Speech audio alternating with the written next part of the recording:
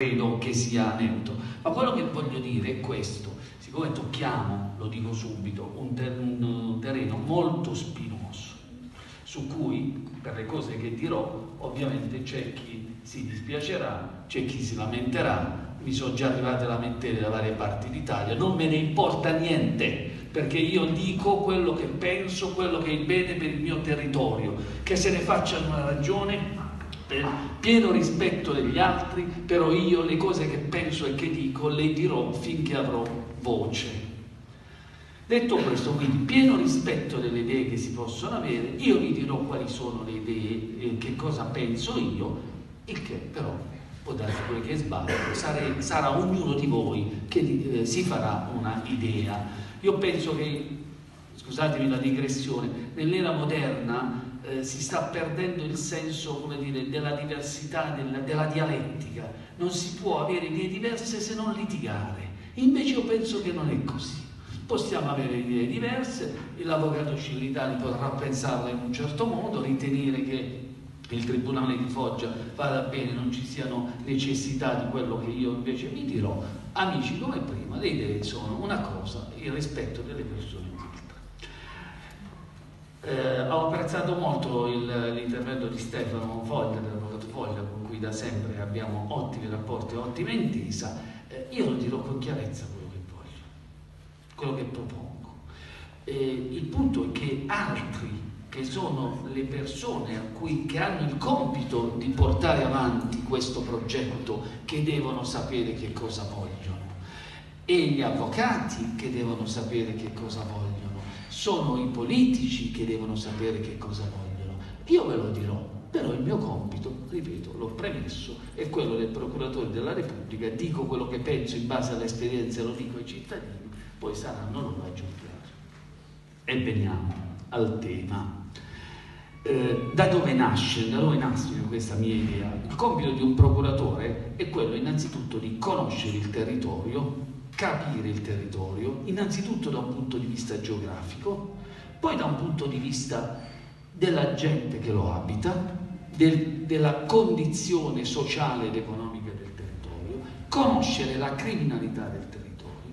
Perché se uno, noi quando facciamo i progetti organizzativi, se voi il progetto organizzativo di un ufficio giudiziario lo si può, eh, non è un atto segreto, vedrete che la mia parte è l'analisi del territorio, l'analisi socio-economica del territorio, l'analisi della criminalità. Altrimenti io come faccio a organizzare una Procura della Repubblica e dire che serve questo, serve questo, serve questo? Allora quello che sto per dirvi nasce da questo, dall'analisi del territorio, dalle, dai quali sono i problemi e io cercherò brevemente di esporli per far sì che voi poi vi facciate la vostra idea che potrebbe essere assolutamente diversa dalla mia.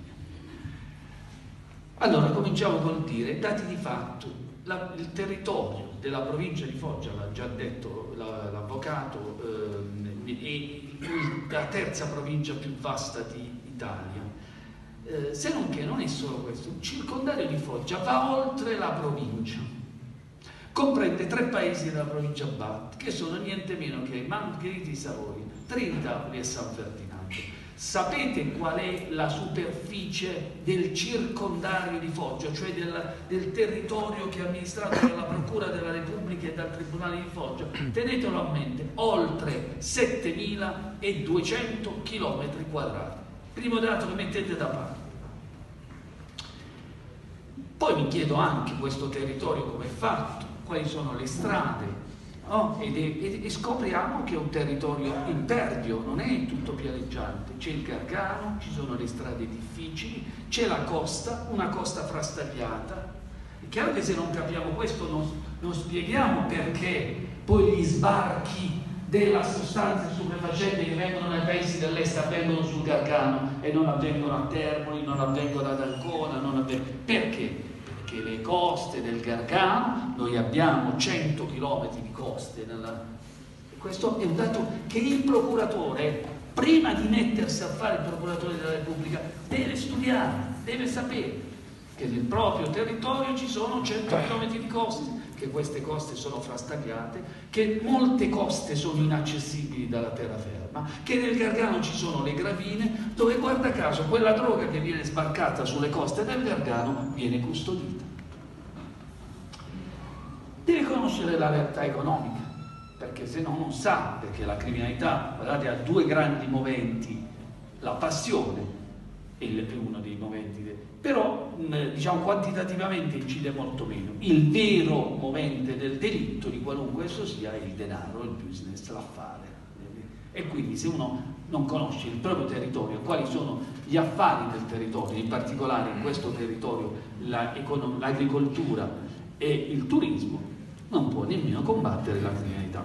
Poi comincia a scoprire la criminalità, e dice guarda, guarda, la criminalità non è una criminalità, sono tante criminalità. Forse le uniche che sono vicine sono la Foggiana e la Sanseverese che da, da sempre hanno avuto dei rapporti più stretti. Ma la Cerignolana è un'altra cosa, la criminalità del Basso Tavoliere è un'altra, la criminalità del Gargano è diversa, sono diverse le, eh, le tipologie di reati. A Foggia e San Severo il reato tipico è l'estorsione, a Foggia c'è molta usura, sul Gargano eh, c'è molto traffico di sostanze stupefacenti, eh, delle droghe leggere, proprio per la ragione che vi ho detto.